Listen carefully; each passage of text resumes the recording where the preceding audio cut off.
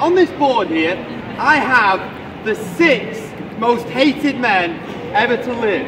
Now I wonder, who might you add to this list? Is there anyone on this list here who I've missed out? Someone tell me right now. Who else would you add on this list of the most hated men? Someone shout out a suggestion. Putin. Putin? This man said Putin, okay, very good. Anyone else? Who else might you add on this list? You. You might add me. I'm a lovely man. Why would you do that to me? Okay. Anyone else? Who else might you add to this list? Who did you say? I'm just saying, who, who would you add on this list of the most hated men? Sal, okay, right, very You good. Jimmy Savile. Jimmy Savile, I've got Savile there. Okay, so now let's see if we can recognise any of these people. So, uh, number one, we're going to give a round of applause to everyone who gets it right. So, can we do a bit of a demonstration? Let's see how good your clapping is today in Liverpool. Are you ready for it? Three, two, one.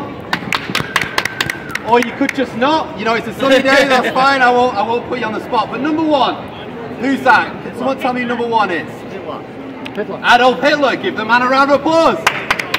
Okay, thank you. Thanks to my friend over there. Uh, number two, who's this man? Do you know who this man was? Anyone watch Netflix? Anyone? No one recognise this? He's a very famous serial killer in America. Who was it? It's Ted Bundy. You're right. Okay, thank you. This man knows. Well done, Ted Bundy. What about number three? Sometimes people get this one mixed up. Who's number three here, my friends? Chairman Mao, this lady's right, Chairman Mao. Very, he actually, this man killed more people than any human being who ever lived. He killed a lot of people. Number four, Jimmy Savile. Who's this man? Oh, I've already told you, Jimmy Savile. We all know who he is. Wicked man, did horrible things we won't even discuss. Number five, this is a trick one.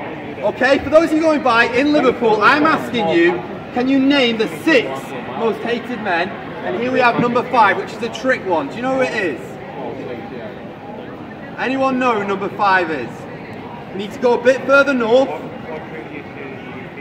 This is apparently the Yorkshire Ripper. Now we don't know for sure, but this is apparently the Yorkshire Ripper. Now I've asked you today who are the most hated men, but number six is more hated than all of these people put together. Now we're going to do a bit of a social experiment now, because this is going to blow your mind. Everyone now take a look to your left.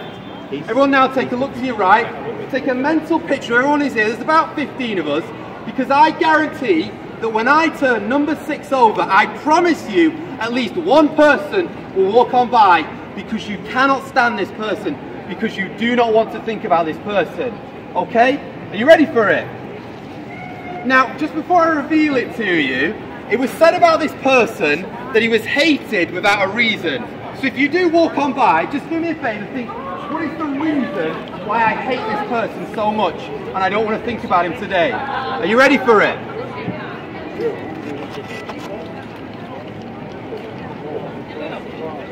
Hey, surprise, surprise, this man said.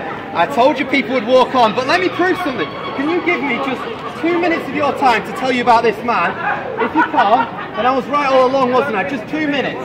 Everyone now have a good look at me, okay? I'm actually a married man. I didn't know my wife was going to be here, but she is here today. That's my wife a lovely baby there, okay? Do you think that I've ever made this wife, this, this lady cry before? What do you think? I have actually, I have made her cry, okay? You see these eyes? Do you think I've ever looked at anything I'd be embarrassed of? If that was put on this board, would I be embarrassed of anything I've ever looked at? What do you think? I would actually. Now, I know I'm a dweeb, okay, I know that, but look at these fists. Do you think these fists have ever hit anyone before? What do you think? They have actually. But now ask me this question Am I going to heaven? I am. Not because I'm a good person, as you can see, I've made a mess, but because there are two types of people that get into heaven perfect people and forgiven people. Now, is there anyone in Liverpool today who's perfect? You're not. But every single one of us can be forgiven because 2,000 years ago, this man, Jesus Christ, was put on a cross. There he bled and died. There he took my lies, your lies. My blasphemy, your blasphemy. Your lust, your pride, your drunkenness, all of it was laid on Christ.